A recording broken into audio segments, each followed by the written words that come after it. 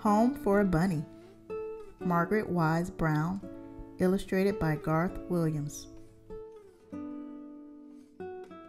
Spring, spring, spring, sang the frog.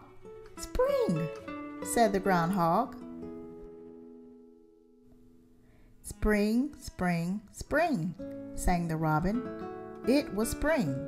The leaves burst out, the flowers burst out, and robins burst out of their eggs.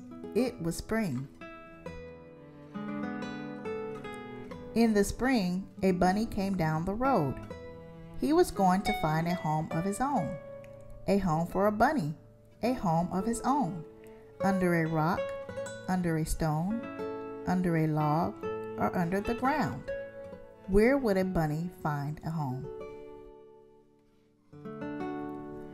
Where is your home? He asked the robin. Here, here, here, sang the robin. Here in this nest is my home. Here, here, here, sang the little robins, who were about to fall out of the nest. Here is our home.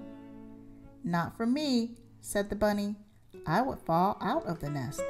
I would fall on the ground.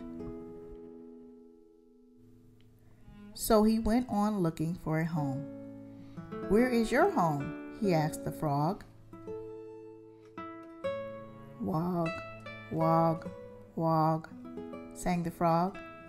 Wog, wog, wog, under the water, down in the bog. Not for me, said the bunny. Under the water, I would drown in a bog.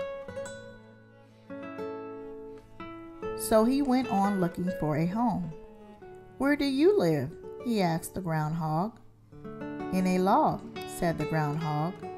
Can I come in? said the bunny. No, you can't come in my log, said the groundhog. So the bunny went down the road. Down the road and down the road he went. He was going to find a home of his own, a home for a bunny a home of his own, under a rock or a log or a stone, where would a bunny find a home? Down the road and down the road and down the road he went until he met a bunny. Where is your home? he asked the bunny. Here, said the bunny.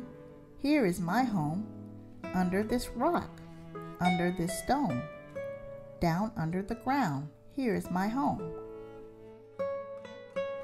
Can I come in? said the bunny.